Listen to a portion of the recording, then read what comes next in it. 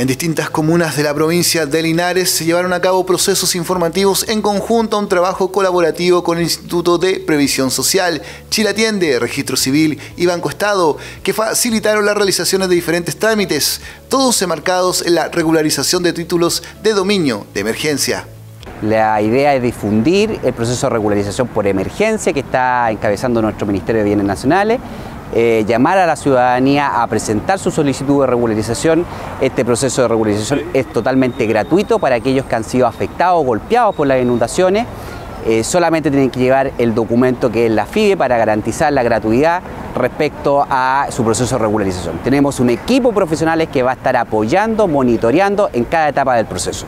Títulos de dominio de emergencia tramita tu reconstrucción. Estará disponible hasta el 31 de octubre para aquellas personas que cumplan los requisitos para acceder a este beneficio. Contar con la ficha FIBE del Ministerio de Desarrollo Social y Familia y cumplir con las normativas urbanísticas de instrumentos de planificación territorial son algunas de las condiciones excluyentes.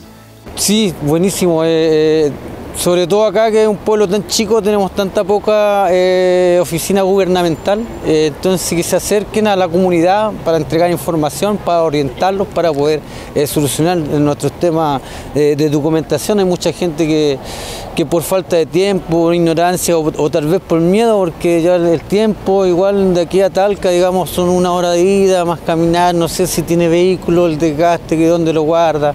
Entonces, el que se acerquen esta, esta eh, oficina a, la comunidad es bastante positivo y se, agradece bastante porque es algo necesario para la comunidad, para la conectividad igual de este pueblo que, que es chico, digamos, entre comillas, es un pueblo pequeño y que necesita acercarse más a otros lados. Igual eso es muy bueno, la conectividad. Según detalló el Ceremi de la cartera César Concha y en base a los datos obtenidos desde Senapred, en la región del Maule, en total, más de 1.600 viviendas distribuidas en nuevas comunas sufrieron daños mayores y menores o fueron destruidas, siendo la regularización de títulos de dominio un proceso fundamental en la recuperación de la propiedad. La verdad la cosa es que es bastante provechoso, conveniente para los que estábamos eh, con problemas tanto de terreno como así los otros servicios, por supuesto se agradece la iniciativa. Vaya eh, los agradecimientos eh, a la persona que corresponda y a ustedes, por supuesto, que solo son los que están en terreno. Así que no, estupendo. ¿Qué más quiere que le diga? Me parece muy bien que se hayan preocupado de este terreno que está un poco olvidado para acá.